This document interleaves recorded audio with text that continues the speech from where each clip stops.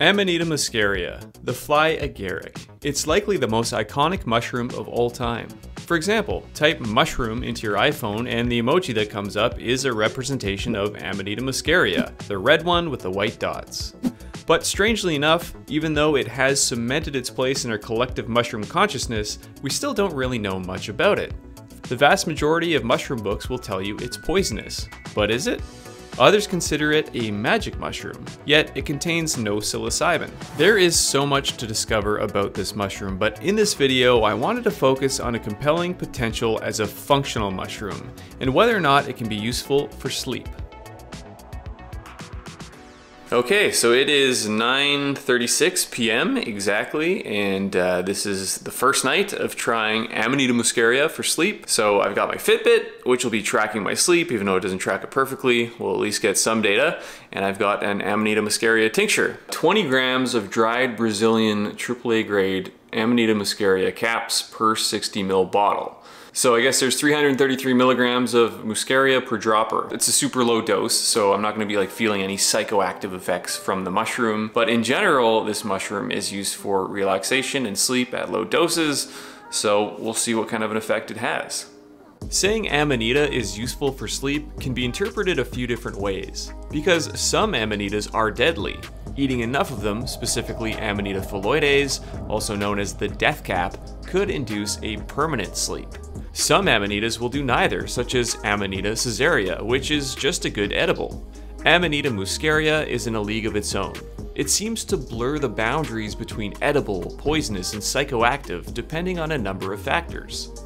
It grows in a symbiotic relationship with other trees, and because of its complex life cycle, it can't easily be cultivated, so it needs to be wild harvested. This can have a number of implications when it comes to its use as a functional mushroom, because it becomes harder to know exactly what the chemical makeup is, depending on where it comes from, what stage of growth it was when it was harvested, and perhaps most importantly, how it was prepared. So it is 1026. Yeah, uh, so it's been just over 45 minutes or so since I took the tincture, and I do feel pretty tired. Like my eyelids feel heavy, and my, my eye muscles feel heavy and I feel pretty sleepy. Sleep, sleepy. I definitely feel something. Um, I feel very relaxed and very sleepy. How about you? I'm pretty tired too, but I did not have any, so. okay. Well, there goes that. Using Amanita for therapy or altered states is nothing new. Historically, it was used by shamans in various rituals and ceremonies where it was believed to produce a trance-like state that helped connect the shaman to the spirit realm.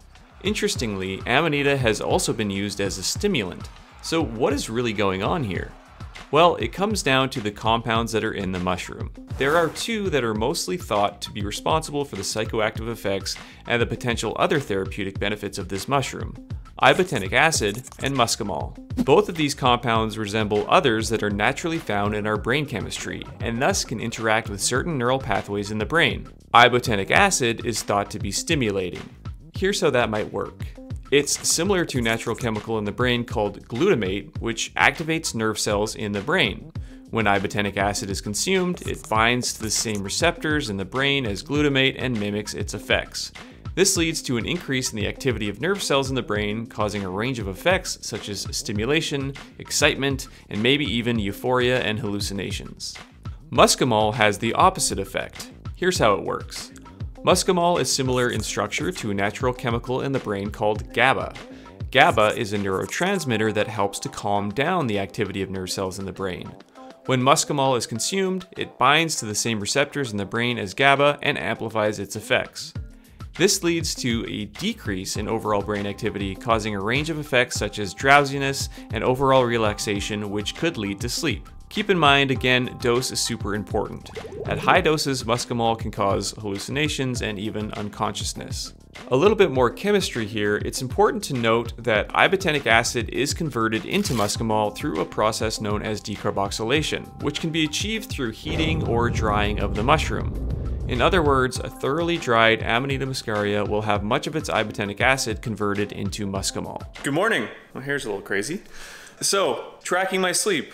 I guess I had a pretty good sleep, but not great, like not amazing, not noticeably good. Um, and even if I look at the tracking on the Fitbit, it was just kind of fair. It did take me a little bit longer to fall asleep than usual, which is weird because I was super sleepy and super tired. Didn't have any crazy dreams or anything like that. But woke up feeling pretty good.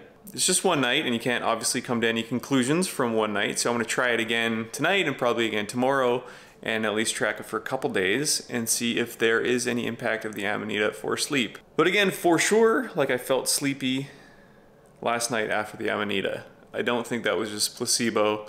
I felt super tired, so I'm gonna see if that happens again tonight. We'll see with this very unscientific anecdotal experiment if Amanita muscaria does in fact have a positive impact on sleep, falling asleep faster, sleep quality, all that good stuff. In Kevin Feeney's book, Fly Agaric, a compendium of history, pharmacology, mythology, and exploration, which is a great resource for anyone who's looking to understand this mushroom, there is a survey which includes anecdotal reports from 30 people, and many of them do attest to using this mushroom as a sleep aid. It's just a self reported survey, not a full on scientific study, but there is some interesting data. For example, one person reported in small doses of chewed and swallowed dried caps, I was able to fall asleep faster and stay asleep longer. It increases my sleep pattern from the typical 4 to 6 hours to a full 7 to 9 hours of what I consider to be a good sleep. The same subject also reported that use of fly agaric has allowed me to avoid over the counter sleep aid and helped to limit my alcohol consumption. Kevin also notes, though, based on traditional use of the fly agaric in Siberia to treat insomnia, I was somewhat surprised that the results here were not stronger. I guess this survey just underscores how little is still known about the potential therapeutic effects of this mushroom. All right, so it is 9.46. This is the second night of trying the Amanita muscaria tincture. One thing I did want to mention though, on the bottle it says full spectrum muscaria extract with high muscimol from decarboxylation, leaving low ibotenic acid. So again, muscimol and ibotenic acid, these are the two compounds inside of this mushroom that might have effects, and it's muscimol that is thought to be responsible for the relaxing and the sleep inducing effects. So this decarboxylation method, which increases the, uh, the content of muscimol, would potentially improve the relaxing or sleep inducing properties of this extract. So what would be really cool, and I'm sure if you know this becomes somewhat of a functional mushroom and you start to see it everywhere, you're going to see those levels of muscimol that are being tested for and that's what you might want to look for if you're using it for this purpose. But again, this is super unscientific. This is just me trying a, a, random extract. I have no idea how much muscimol is actually in there, but apparently it's gone through a decarboxylation process in order to increase that content of muscimol. So are there any safety concerns with this mushroom? If you consulted your field guide, you might find that it's listed as poisonous, and although you could argue that is true depending on your definition of poisonous, the reality is a little more nuanced. A review of 30 years of mushroom poisonings based on 2,000 reports in the North American Mycological Society case registry shows about 100 cases of poisonings from Amanita muscaria, but only one recorded death, which was not even a direct result of the mushroom. It does note, however, some other symptoms, some not a big deal, like gastrointestinal distress or visual disturbances, something pretty common with any psychoactive, but also people have mentioned things like sweating, muscle spasms and convulsions, atrial fibrillation or rapid heart rate, and others. It also mentions deaths, but only in cats and dogs, so it's possible that animals have a lower tolerance to the compounds in this mushroom. I should also mention that one of the main compounds in Amanita muscaria, ibotenic acid, is often used in animal studies as a brain lesioning agent. Definitely not something that you would want. The thing to keep in mind though is that in these studies, high doses of ibotenic acid are injected directly into the brain. Not only that, but there is no proof that ibotenic acid can even get to the brain through digestion, with some suggesting that it breaks down in the stomach. If you want an entertaining read on this topic, there is a great article that Hamilton Morris did for Harper's Magazine where he thought he was testing a muscimol derivative for sleep, but then he found out it was actually ibotenic acid. What follows is an understandable concern for his brain. I'll link that in the description. Brain lesioning obviously is not something anyone would want, so it makes sense to be cautious here. The bottom line is that we really still don't know, so in that case I need to put a warning here. Do not eat this mushroom. Not only could it be potentially poisonous depending on how it's prepared, identifying mushrooms, especially those in the Amanita genus, can be tricky. And as mentioned earlier, there are deadly mushrooms in this genus. The fact that it is being researched for some medical applications today, and that it does have a history of use, doesn't necessarily mean that it's safe. So it has been about 45 minutes. I feel unusually tired for this time of night. I mentioned it yesterday, but very distinctly, like there's a heaviness kind of around my eye muscles. And I just feel a little bit sleepy, a little bit slower. We'll see if this has any effect on the actual sleep, because last night it didn't seem to, even though I felt really sleepy. But I think it's important to remember all the other things that we do that could have an effect on sleep. You know, if I was to spend the last half an hour working out, or like I don't know, getting a lot of blue light in my eyes from watching TV or being at the computer or something versus going in the sauna and reading a book. You know, even without adding the Amanita muscaria, those two different bedtime routines could have a massive effect.